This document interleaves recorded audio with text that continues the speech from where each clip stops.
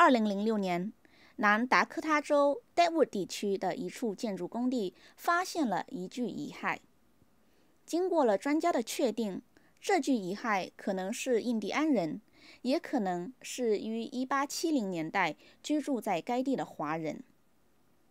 出于对先人的尊重，华人代表和当地的印第安人都选择了不去做进一步的鉴定，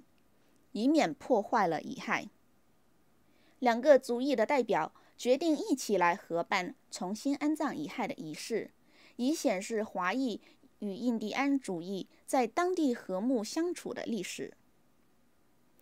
于是，华裔移民先人的遗骸终于在今年八月，在道教、印第安和天主教三种文化的仪式下入土为安。南达科他州这具华裔先人遗骸的发现，为早期的华工历史又增加了新的史料。